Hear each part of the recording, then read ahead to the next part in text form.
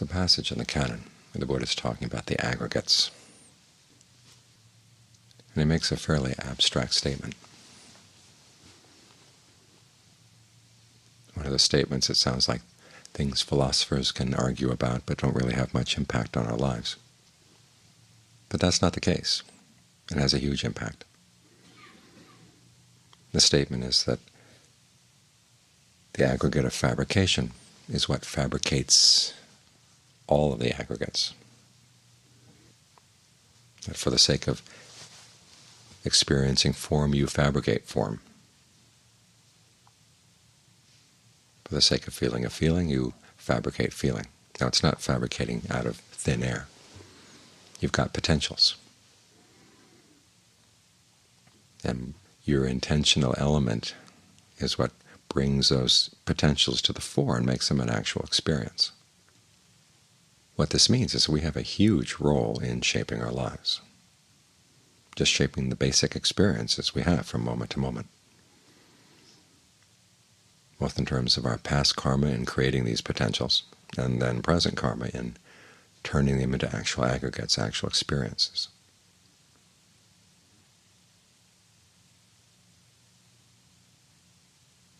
And what we're going to do as we're practicing is take advantage of this fact, because otherwise our, intentions tend to be kind of muddled. And oftentimes we don't even realize that we have the power to change things, to shape things. So things go on automatic pilot, or we let other people set the conditions. We're talking today about this situation at work, say. And you find yourself just responding to other people's outrageous statements, outrageous actions. In other words, you're letting them set the conditions for what you're going to do and what you're going to say. You're abdicating responsibility.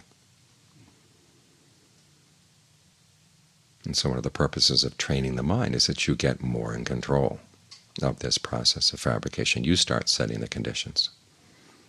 You think about what kind of life you would like to have. And then you start shaping things in that direction. This is why that basic skill we learn as we meditate, focusing on the breath, and all of a sudden we find ourselves wandering out, thinking about the Antarctic, or thinking about Africa, or thinking about this person or that person. And we have the choice. You want to stay traveling around the Antarctic, or you want to come back to your breath.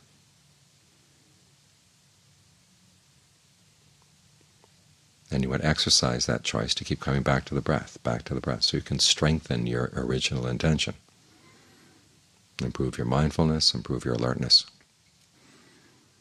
And in doing so, when you know that you're doing something that's skillful, you have a skillful attitude, a skillful belief, a skillful intention, that you can protect it, you can maintain it, and you don't let other situations, other things come in and destroy that original intention. So even though it may seem frustrating, you're sitting here with a breath and suddenly find yourself off someplace else. Shopping for something, who knows where. So you come back, and you come back, and you go off, and you come back, and you go off, and you come back.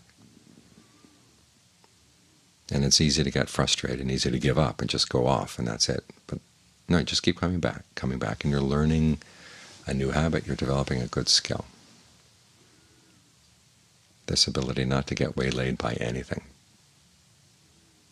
So that once you set your mind on doing something skillful, you can maintain that original intention, both while you're sitting here with your eyes closed and when you're out dealing with other people. You want to set the agenda. They may not be able to set the agenda for them, but you can set the agenda for yourself, what you're going to do, what you're going to say. And as you strengthen your powers of mindfulness, you can hold your old impulses in check. Because just because something seems impulsive or it's the way you've always done things doesn't mean that you have to continue doing things that way, that you have to give in to the impulse.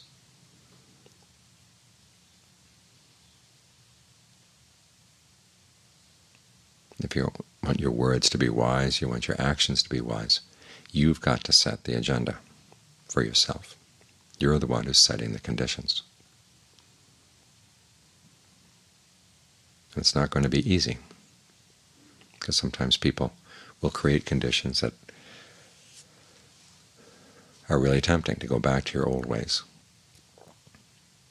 your old efforts at learning, trying to control them or control the situation.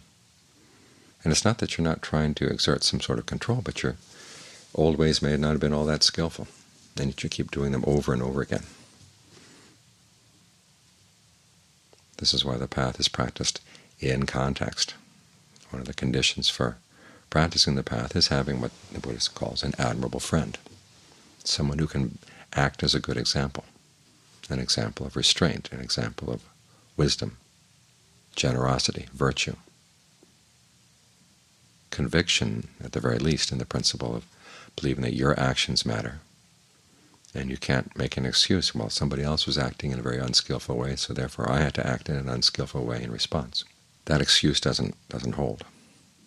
No matter how unskillful other people are, you're the one who's responsible for your actions. You can't be responsible for theirs.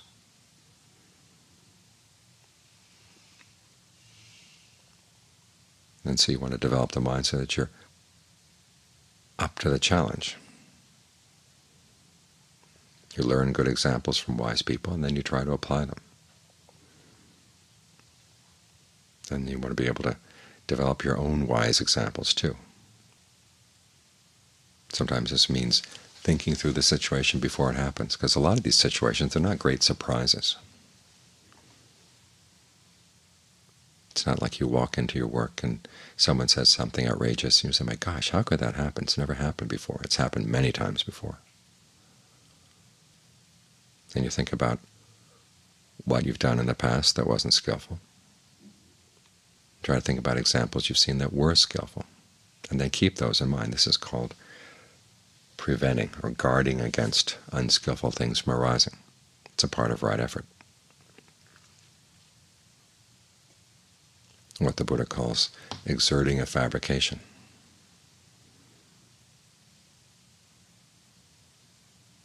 Because again, since you are fabricating your experience, you want to exert skillful fabrications. We've got the breath. You can learn how to stay in a difficult situation, at the very least maintain a sense of ease and well-being in the breath. And you look at how you think about the situation and how you analyze the situation. Are you analyzing it in a helpful way or harmful way?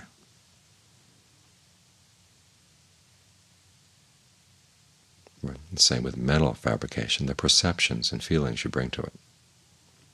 How do you perceive the situation? Do you perceive yourself as a victim, or can you perceive yourself as having a more active role in shaping things in a more skillful direction?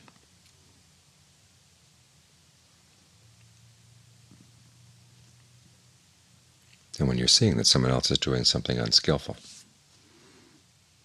what's the best thing to focus on?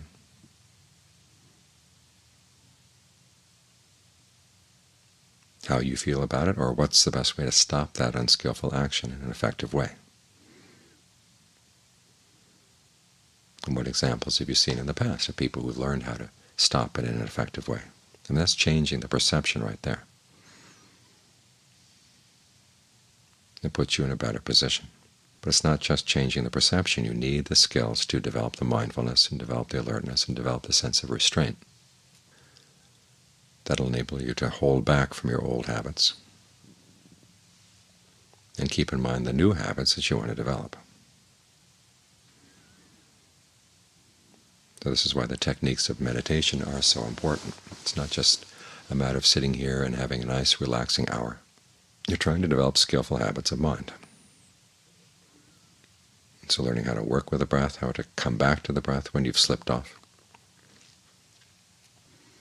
come back in a way that you feel like staying and not getting more and more resistant to the breath every time you come back. Try to reward yourself each time you come back.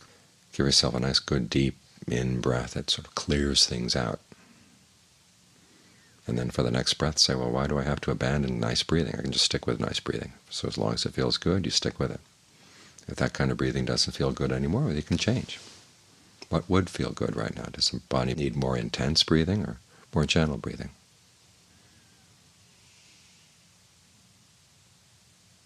Which part of the body is doing most of the breathing work. How about letting some of the other parts of the body take over for a while so they can have some breath participation as well? In other words, try to make the breathing as interesting as possible.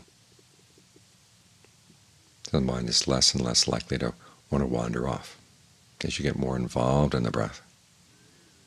It gets harder and harder to be pulled away. But if you're skimming over the surface of the breath, then it's very easy just to skim right off.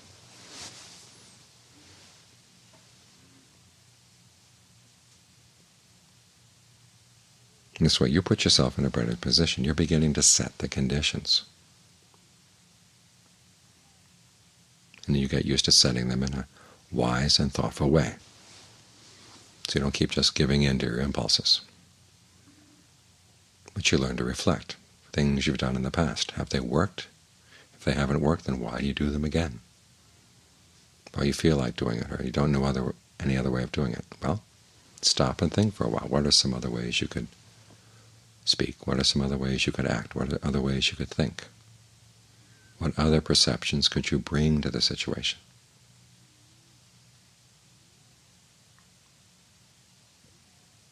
Meditation is not just a matter of staying in the present moment. It also involves reflecting on what's worked in the past, what hasn't worked in the past.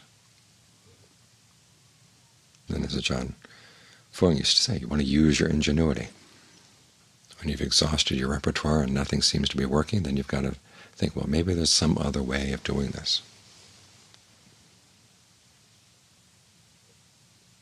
And then you experiment.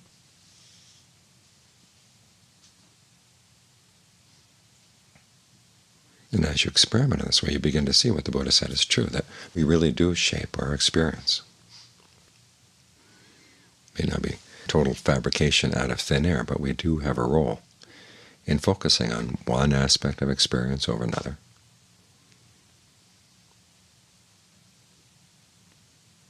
and cultivating some things and letting other things just slide by. So what you want to do is learn how to cultivate the things that are really useful. As things that are not useful, let them slide by. But all too often we find ourselves cultivating greed, aversion, and delusion. We don't think of it as a cultivation process. It just seems natural, just seems the way things are, but it is a kind of cultivation. One of the important aspects of acceptance that the Buddha teaches is accepting your role of responsibility your power to shape things, your power of choice.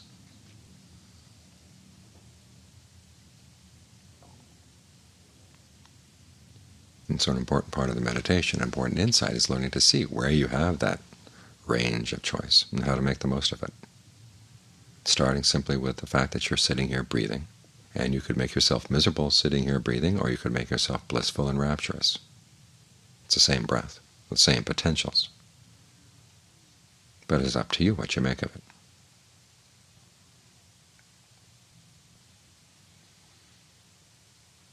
And as you learn to get your intentions, your skillful intentions, more and more in charge, you find you're setting the conditions not only for good meditation, but also beginning to set the conditions more and more for the way, at the very least, the way you act when you're dealing with other people. And that's important. Your actions are your treasures.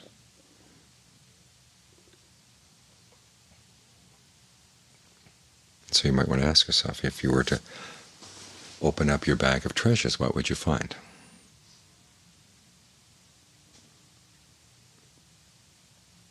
Little bits of old feathers, dead mice,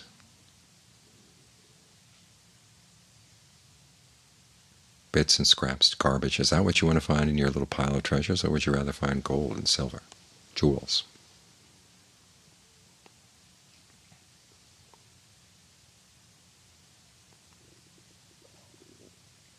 The choice is yours. And the meditation is help is a means for helping you to make more and more skillful choices, so you can find the gold and cultivate it. Make the most of it.